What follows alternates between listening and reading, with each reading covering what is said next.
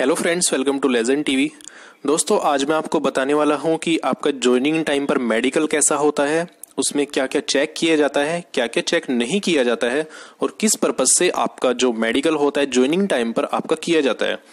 तो देखिए दोस्तों, आपको पता होना चाहिए कि आपका आखिरकार मेडिकल का पर्पज क्या होता है ज्वाइनिंग टाइम पर, जबकि आपका पहले एक बार मेडिकल हो चुका है, और उसकी जो वैलिडिटी है, वो भी आपकी सिक्स मंथ की है, लेकिन फिर भी आपका वहाँ पर मेडिकल एक बार किया जाता है।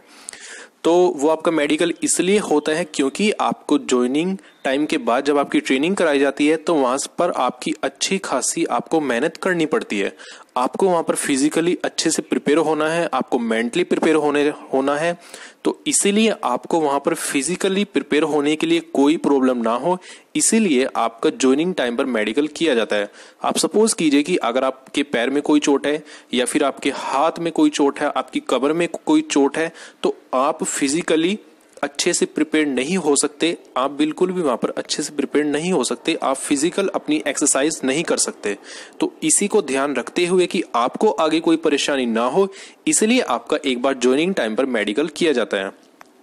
तो अब हम देखते हैं कि आपका ज्वाइनिंग टाइम में मेडिकल में क्या क्या चेक नहीं होता, वो एक बार हम देखते हैं। तो आपका सबसे पहले ईसीजी e जो आपका हो चुका था चेक नहीं होता। Blood test urine test X-ray ECG eye vision test flat foot knock knee आपका चेक नहीं होता है।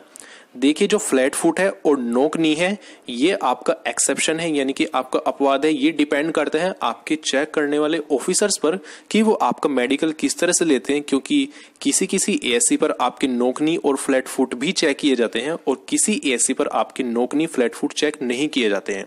तो ये उनके ऊपर डिपेंड है। अब देखते हैं कि हमारा वहाँ पर चेक क्या क्या होता है और क्या क्या हमें उनकी सावधानी रखनी है। तो देखिए, सबसे पहले जो आपके वहाँ पर चेक होते हैं, वो आपके प्राइवेट पार्ट होते हैं। आपको ध्यान रखना है, आपको कोई उनमें परेशानी ना हो, उनमें आपको कोई स्क्रैच या फिर चोट वगैरह कुछ ना हो, बिल्कुल आपके ठीक हो। तो आपको कोई भी परेशानी नहीं है।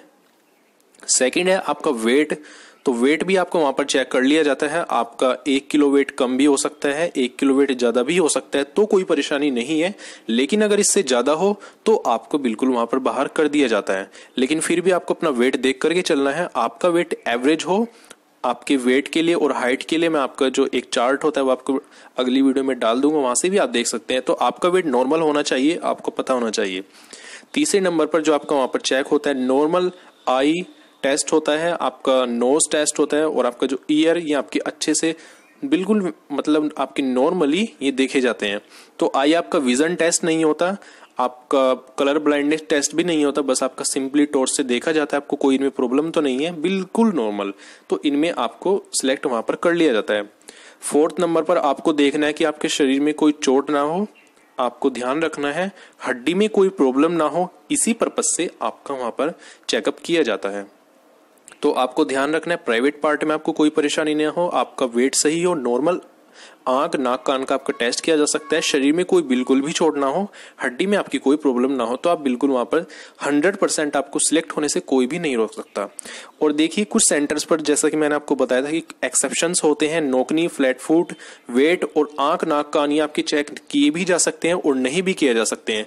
लेकिन फिर भी आपको उन पर भरोसा नहीं करना है, आपको खुद का हंड्रेड देना है, आपको बिल्कुल भी रिस्क नहीं लेना है, जिससे कि उनको भी कोई परेशानी ना हो आपको बाहर करने में और आपको भी कोई परेशानी ना हो अपने फिजिकली ट्रेनिंग के दौरान आपको मेहनत करने में। क्योंकि अगर आपके शरीर में कहीं चोट लगती है तो उससे प्रॉब्लम आपको ही होने वाली है आपके ट्रेनिंग टाइम के दौरान। क्योंकि वहाँ पर आप फ़िज़िकल एक्सरसाइज नहीं कर सकते, आपको फिर भी वहाँ पर ज़बरदस्ती करनी पड़ेगी, मेहनत करनी पड़ेगी, आपके और भी इससे चोट लग सकती है, आपको कोई भी परेशानी हो सकती है। तो इसलिए आपको खुद का ध्यान रखना है, कहीं भी जाना नहीं है, अपना जो भी आप आप अपना ध्यान रखते हो, आपको अच्छे से अपना ध्यान रखना है। तो दोस्तों, इस वीडियो में अभी के लिए इतना ही। और नई इन्फॉर्मेशन के लिए आप देखते रहे legend TV thank you very much